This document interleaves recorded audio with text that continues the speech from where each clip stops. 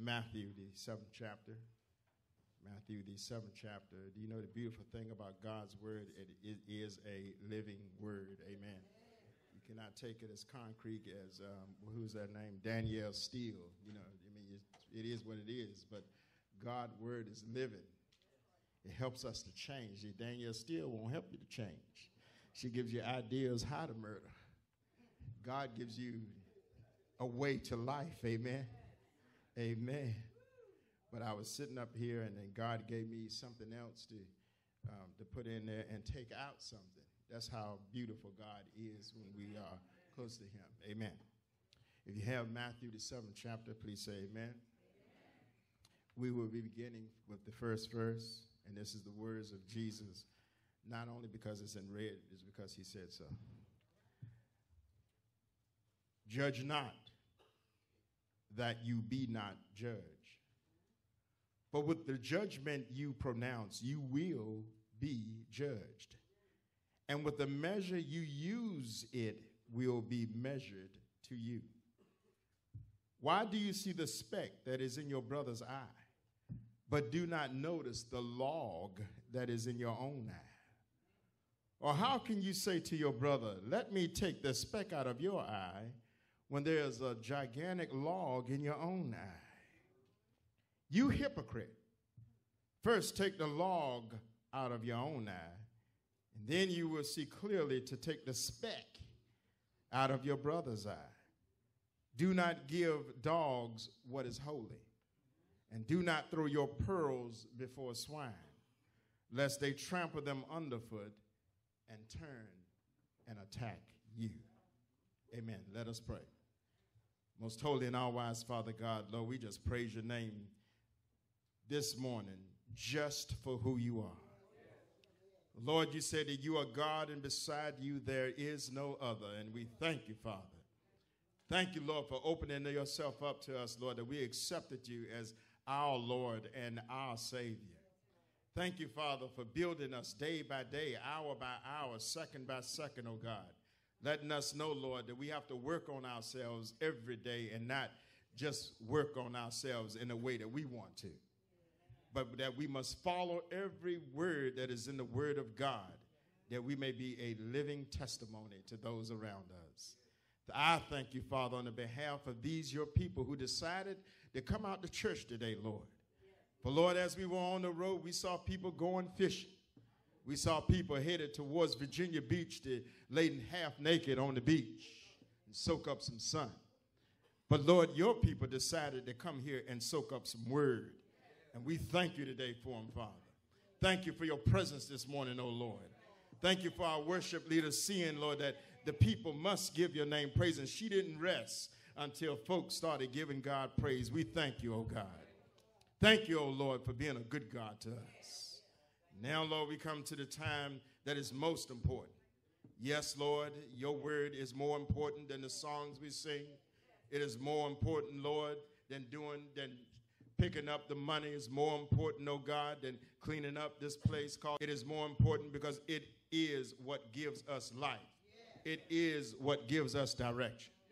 Now, I, your servant, oh Lord, ask, Lord, that you, Lord, if I'm not humble, humble me down. Lord, you tear me down where I'm so high and build me up where I'm weak, oh God, that I might be able to give your word to a people who are hungry for it, to a people who want to live. Lord, even this sermon that you've given me, oh God, if it is not what you want your people to have today, then Lord, you take over and you give to me what your people need that they may live, that they may be a light, and more than anything, that they may be a delight to you, O God, in the name of Jesus. We praise you. We thank you for what you've done, and we're praising you right now for what you're going to do. In Jesus' name we pray. Let every heart say amen. I titled this sermon, Judging Others. This is part of the Back to Basics um, sermons that I, I believe that we should get back to basics and learn the simple things, and that way we can grow into learning more deeper things about God. But judgment is one thing that people do to folk in the church, and not only in the church, but after they leave the church. And we need to hear what God's word says about it. But before I get started, let me tell you a true story We sometimes criticize others unfairly. We don't know all their circumstances, nor do we know their motives. Only God, who is aware of all the facts, is able to judge people righteously. John Wesley, great preacher from the 1700s, uh, told of a man he had little respect for because he considered the man to be miserly. That means, and covetous. That means he had money but wouldn't give it to the church or wouldn't give it out. And so he, one day, this person contributed just a small amount to charity.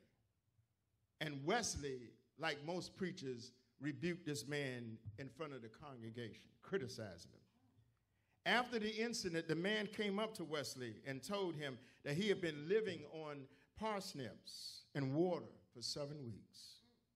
He explained that before his conversion, he had run up many bills. Now, by skimping on everything and buying nothing for himself, he was paying off his creditors one by one. The man said, Christ had made me an honest man. And so, with all these debts to pay, I can only give a few offerings above my tithes. I must settle up with my worldly neighbors and show them what the grace of God can do in the heart of a man who was once dishonest. Wesley, feeling bad, apologized to the man and asked for his forgiveness. You ever been called to jury duty? Ever been asked to make a judgment about a matter? Some Christians seems to feel that they are on permanent jury duty. Jesus addressed this fact in his final leg of the Sermon on the Mount. Twelve members of a jury acquitted Andrea Yates, if y'all can remember her, of the murder of her children in the bathtub by reason of insanity. However, you may feel about it, that jury was sitting in a place of judgment. And when you hear their verdict, undoubtedly, you make a judgment of your own. O.J. Simpson, the same thing. Saddam Hussein, the same thing. So, what do we believe about this direct command in Matthew 7 1, judge not? In context, comparing scripture with scripture, what is the true interpretation of Jesus' words here? This is very misunderstood stuff. And many Christians overuse and they abuse the words, don't judge me, in all their circumstances. Judge not does not mean that it is wrong to judge doctrine, to see if that doctrine is of God. The word of God is our final authority.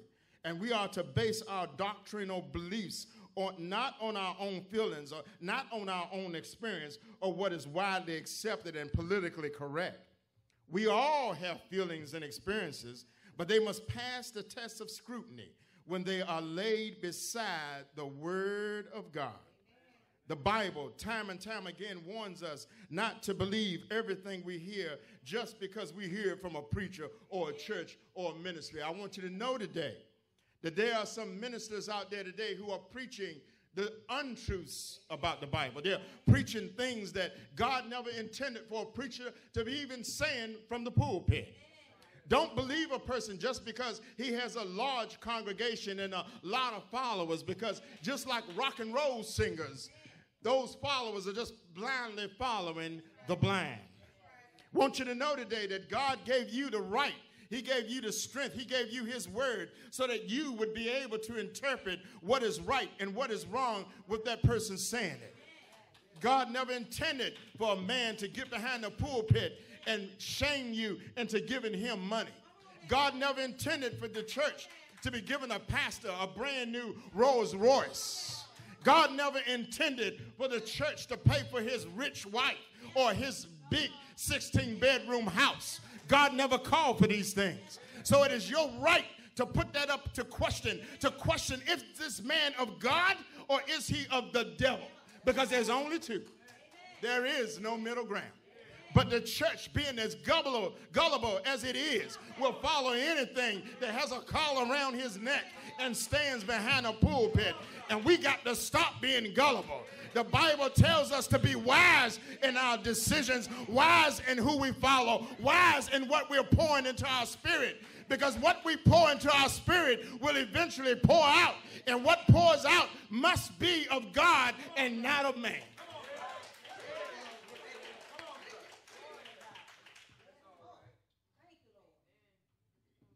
Can't believe everything we hear. The Apostle Paul in Romans 16 chapter says, Now beseech you, brethren, mark them which cause divisions and offenses contrary to the doctrine which you have learned, and avoid them. You hear what I said? Uh, did I say that or was it in the Bible? It's in your Bible too? Is it really? Is it in your Bible too? The Bible says to avoid them. But what do the church do today? Just because they gave a few ducats in the church, just because they gave the church a gift, we follow them and act like they're God. We've got to get on God against everything that comes against. The Bible says right here in the scriptures to avoid them.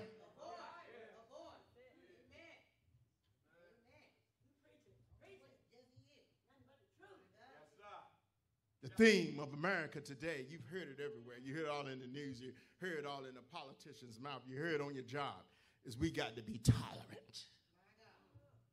We're considered out of line if we don't put up with anything and everything that comes down the pipe.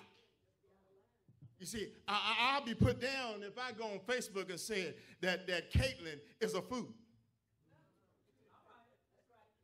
Who is Caitlyn? She was once a man by the name of Bruce Jenner who got a sex change operation. And they call themselves Caitlyn. And the world thinks I ought to keep my mouth shut or go along with the program. But I'm here to tell you, God never made a mistake when you were born a man or a woman. God never made a mistake when he says don't fornicate. God never made a mistake when he says don't commit adultery. God never made a mistake when he says that homosexuality is wrong. I will stand on God's word. I don't care what the world says. I am not tolerant of what goes against the will of my Father. Put me in jail. I'll preach in jail too. Go ahead and whip me just like Paul, because after I get out, I'm going to preach the same thing that I was preaching before you put me in there.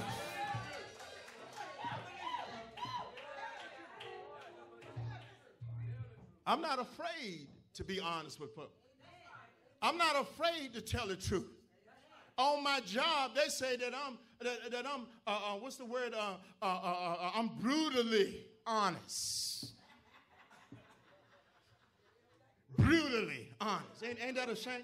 I can't even tell the truth. I'm brutally honest. Well, if that's the case, everybody that I've ever came in contact with says that I'm brutally honest. Even my wife says might be saying I'm brutally honest. Honey, does this look right on me? No, it don't look good on you.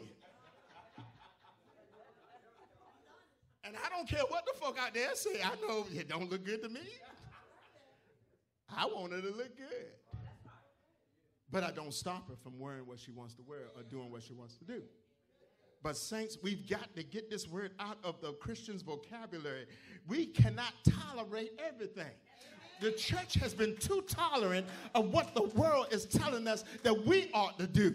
The church is telling us to be quiet. The church, the world is saying that when we have prayer in our homes, that we have to keep the volume level down so we don't disturb Joe Blow next door or Sister Sue across the street. The world is telling us that we ought to go against the grain of God and be what want us to be when they ain't got it together themselves. How in the world am I going to follow? which is going to hell. Second John, the first chapter says these words If there come any unto you and bring not this doctrine, this truth, this word of God, receive him not into your house, neither bid him God Godspeed. So I want you to know today don't invite the Jehovah's Witnesses in your house. I want you to know today don't wish the Mormons, aka Jesus Christ of Latter day Saints, well. Send them on their way. Because when you invite them in their house, you're agreeing to their doctrine. Jehovah's Witnesses don't believe that Jesus was the Son of God. Mormons don't believe that Jesus was the Son of God. I want you to know today that when you invite them in, you're saying that I agree with Jehovah, I agree with the Mormons, and I don't care what nobody say, but you better care what the Word of God says. They ain't coming to my house. And I tell them. Hebrews, the 13th chapter says, Be not carried away with every diverse and strange doctrine. Ain't that what the church is doing today? Just because TD said it, it must be okay. Just because Joel says it, it must be okay. Just because Paula says it, it must be okay. But we, even if the pastor says it, you've got to put the pastor, Joel Osteen, T.D. Jakes, and Paula White against the word of God and see if what they're saying is the truth of God. And in fact, I want to tell you today that instead of you sitting down and accepting what somebody else has to say, why don't you open that Bible for yourself and study the word of God so that God can give it to you straight from the the horse's mouth. We like to be spoon fed. We like to be like little babies. Whine, whine, whine, feed, feed, feed. Whine, whine, whine, feed, feed, feed. It's time for us to take the spoon for ourselves and feed ourselves the word of God. It's time for us to start getting strong. That's why we got so many weak Christians because you're listening to this one who's different from that one, and you're listening to that one who's different from this one. And pretty soon you're all mixed up. Not only are you mixed up about the spirit, but you're all mixed up in the head. You don't know what to believe. Where God is the true God. He said, If you ask of me, I'll give it to you liberally, just like I gave it to everybody else because I freely give to you the truth. Jesus is the answer. His word is the answer. Judge not does not mean that we cannot judge teachers and preachers to see if they're of God. Matthew, the seventh chapter, we heard it earlier. Beware of false prophets, which come to you in sheep's clothing, but inwardly they are ravening wolves. I cannot obey this command without judging, and certainly I need God's help in making this kind of judgment. Sheep's clothing means they look like us, talk like us, praise like us, sing like us. They act like us. They, they almost look like the genuine thing. But God says that we ought to know them by their fruit. We got to look at how they walk, how they talk, how they act. We got to see the real person outside of the church because I'm going to tell you, the devil knows how to act inside the church. But when you get outside the church, when you're at home, when you're in the dining hall, when you're shopping, do you act like a saint? Do you look like a saint? Do you are you a saint when you're there?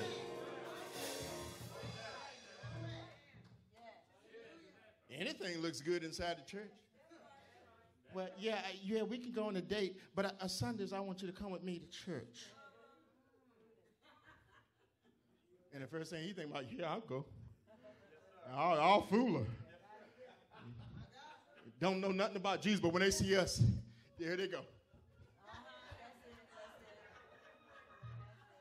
Saints, the devil has his people too. Don't think that everything in the church is saved because everything ain't saved. You got folk who will come Sunday in and Sunday out, don't bit more know Jesus Christ as Lord and Savior than them drums do. but they certainly know how to sing. Glory, glory, hallelujah. Since I laid my burden down, ain't never laid nothing down. The only thing they laying down in is their bodies on Saturday night, and you following them.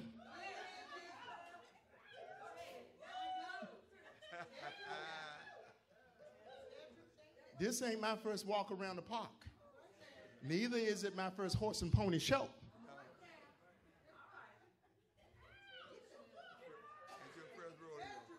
Huh?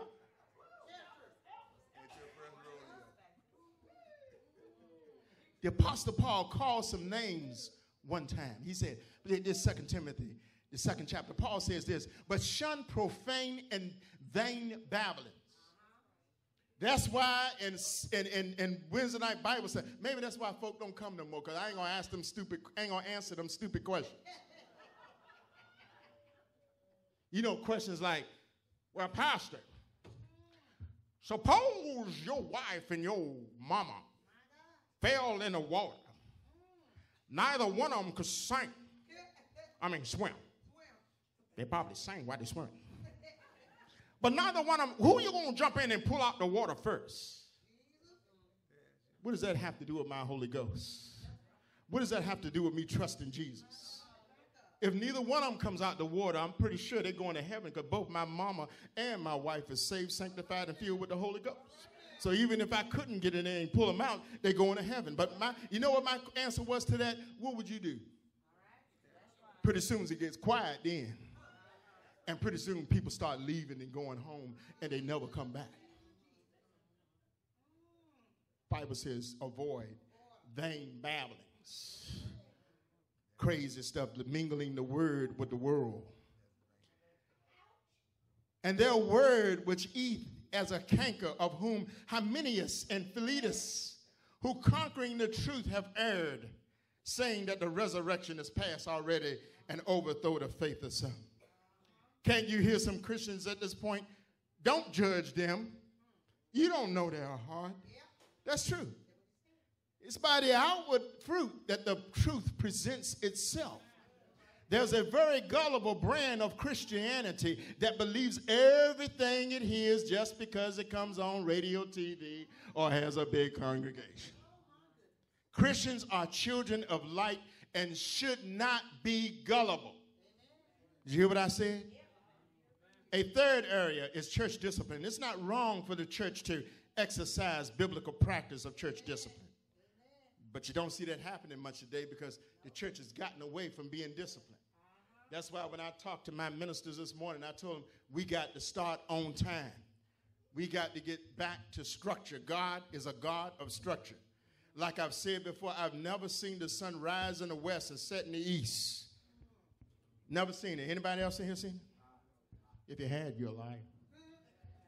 But God has structured the world so that the sun rises in the east and sets in the west. He's made it so that the moon goes through phases. He's made it so that we can look in the sky and know where we're at from the direction or the position of the stars. He's allowed tides to rise and fall. Everything has structure, but the church wants to get. Well, sometimes you know God get out of the order of service. No, He don't. You get out of the order of service. Now, there comes a time when the Holy Spirit falls upon the church. But we got to know the difference. You can't force it. The reason you can tell when it's the Holy Spirit because folk will praise God. They, let me put this. I ain't put folk. Saints will praise God. Saints don't ain't ashamed. Uh, their, their, their wig can fall off. They still praise Him. I've seen that. Huh? I've seen it too. We fought. Oh. you think the wig is speaking a language of his own. But they ain't ashamed. They praise God. I've seen men dance so, and this was before this the problem with the pants hanging out. Men praise God so hard that the pants began to fall, and they have to grab them and hold them while they still praise God. But they weren't ashamed to praise God. They were in the attitude of David when David was giving God the praise. He fell out of his clothes. He wasn't ashamed. He want to. He, he just gonna praise. I'm gonna praise my God. I don't care who see him. I'm not ashamed to praise God. That's when you know it's real. That's when you know it's of God. But you got to be saved. You got to be full of the word to know the difference. We are not to be we are not to judge motives, but we are to judge conduct. Here's an example. A policeman pulls a person over for speeding. The person in the car says, "Hey, hey, police officer, don't don't judge me. You don't know my heart. You don't know what I've been going through today." The police officer patiently listens to him. And finally, the police officer says, I'm sorry, but I'm not judging your motives. I'm judging your conduct. I don't know what you did today. I don't know where you go. I don't, I don't know nothing about what happened before I got to this point. But I know that when I was sitting at that red light and I had my radar going, you were flying. This is a 35 mile an hour zone, but you were doing 85. So I'm, I'm not I'm getting you for not for what happened earlier. I'm not getting you because your wife didn't kiss you this morning. I'm not getting you because you didn't eat a good breakfast this morning. I'm getting you because you broke the law right now. That's conduct, and that's the way we judge in the church. When a person is out of line with what the Bible says that we should be, and we should be walking in the image of our Lord and Savior. We should reflect Jesus in our talk, in our walk, in our song, in our praise. And when that person is not doing it, when they're trying to make the person or all of us of us think that they're okay and their foolish ways is getting them deeper and deeper in the hot water, know that that person is not of God. They're not of God. So therefore, we have a right to look at their life at that moment. Church membership must be taken seriously and not entered into lightly. First Corinthians, the fifth chapter, says this. An outward grievous sin is publicized and it will damage the church if they don't stand against it. They are told to remove the person if he will not repent. And Paul in verse 3 says, He has already judged the matter. The church leaders have already attempted restoration using the biblical method, but the person continues to do wrong. We are to remove that person not out of the church, but as a brother or a sister in Christ. When a person commits the act of fornication, it destroys not only that person's uh, uh stance with God, but it destroys the church and the reputation of Jesus Christ Himself. We are not to allow people to come into the church and be disruptive and cause a lot of problems in the church. We are to pull them to the side, talk to them, and if they won't hear us, get somebody else to help you. And if they won't hear the third time, they'll no longer have that position. Don't get mad with the messenger for what God has said. Recently, something happened in this church and a man sat himself down. And everybody gets mad at me like I sat him down. He knew what he was doing was wrong. But yet you get mad because that's your friend. Sin is never my friend.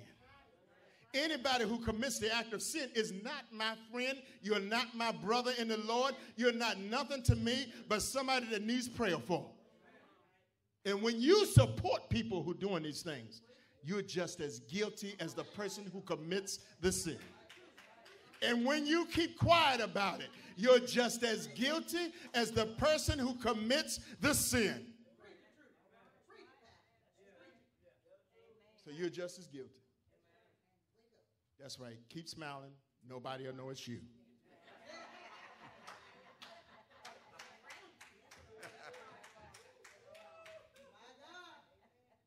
Okay, then what does judge not mean? Verse 3 this is an unjust, critical attitude of hypocrisy. Self righteousness looks at what they can find to fault a person about. An overcritical attitude that manifests itself, it causes derogatory and condemning manners. These people are on permanent jury duty. Something's wrong in this church, and I'll find out what it is if it kills me. They'll start at the top. The pastor is preaching too strong a sermon against my sin. I wish he would just shut up. I wish the deacons would stop coming to my parents' house and giving them their, their, their, their food, uh, their offering for the day. I wish that folk in the church would just be what I think they ought to be because that's the way I knew it when I was growing up. It's not yours. It's not, that's not the way you should think. You shouldn't be looking for something to complain about. Jesus sent messages into Samaria to prepare for his arrival, and his messengers were rejected. What did James and John say? Lord, here's James and John there. Some like folk today when, when, when somebody do them wrong.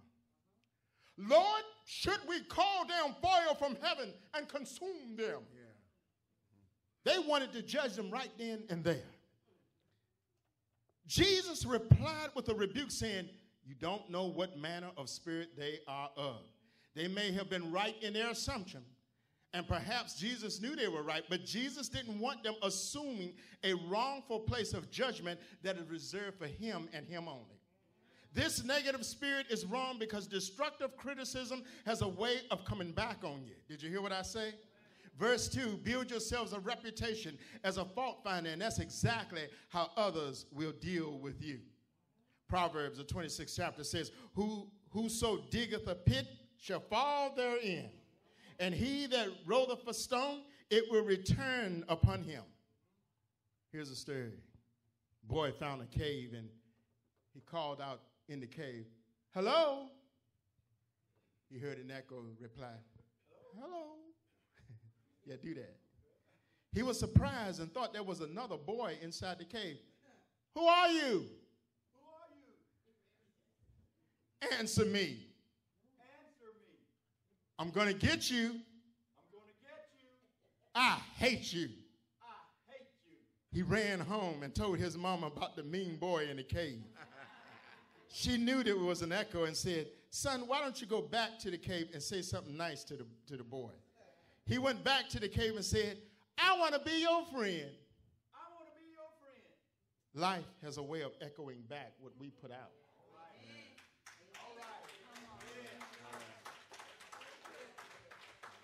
What you put out is what you're going to get back. If you say people hate you and you mean to people, guess what? You ain't got no friends. But when you show yourself friendly, the Bible even says that, doesn't it? It says, show yourself friendly and you will have friends.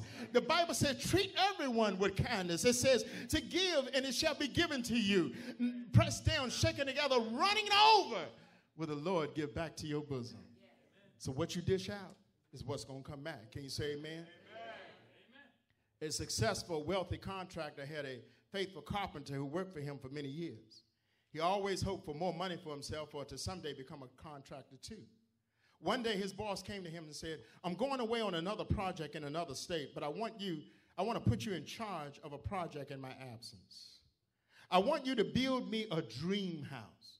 Spare no expense. I trust your judgment. Make it as nice as you can imagine.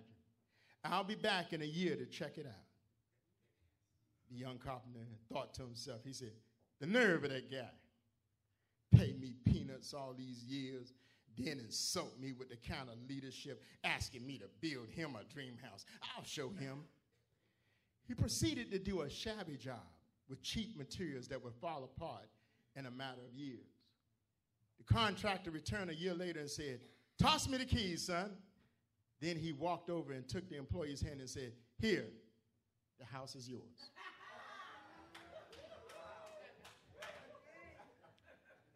You can build a life on a foundation of criticism if you want to.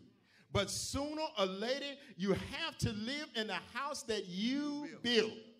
So if you are trying to please God, you're going to live in a way that pleases God and will let somebody around you know that you are of God. But if you do it any other way, that's what you're going to be. That's what you're going to receive. We've seen what this verse does not mean. It does not mean uh, uh, uh, uh to, to, to, to judge without knowing the facts. Verses 3 and 5 the hypocrite has two by four sticking out of his eye, and then we see a speck of sawdust in his brother's eye. Jesus is using sarcasm here. I'm pretty sure Jesus was laughing even as he was saying this. And I imagine everyone laughed as he was saying it. We need to start judgment with ourselves. We need to examine ourselves. We need to look at ourselves. We need to work on ourselves.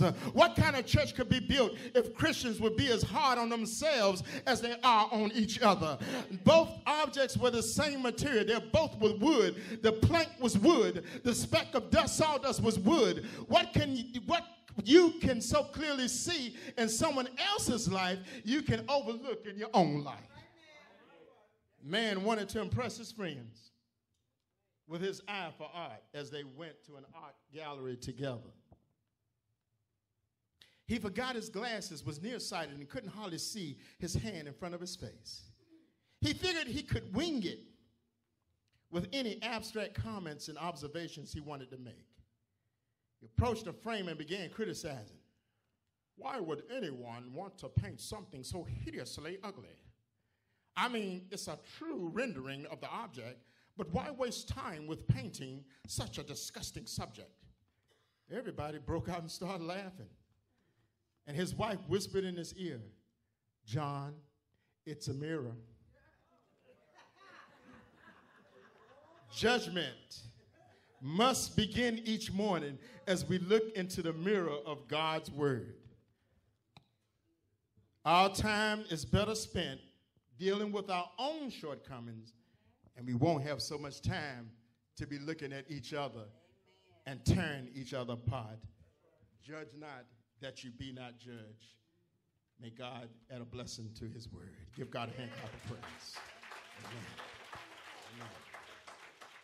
Pastor Darnell E. Whitfield is thankful that you decided to listen to today's study and invites you to come back again every Saturday and learn the truth of the Holy Bible that will bring wisdom to your life and peace to your soul. You can visit our website at lifechurchohr.org. Life Church OHR is all one word L I F E C H U R C H O H R dot O R G. You can join our Lessons for Life blog, which comes out every Wednesday, by sending us your email address to lifechurchhr at outlook.com. Lifechurchhr at outlook.com. Friends, please help our ministry to continue the work of pointing people to Christ and serving our community with a donation of $10 or more through the church's PayPal account, or you can send your checks to our business suite at Life Church of Hampton Roads, 4240 Portsmouth Boulevard, Suite 433, Chesapeake, Virginia 23321.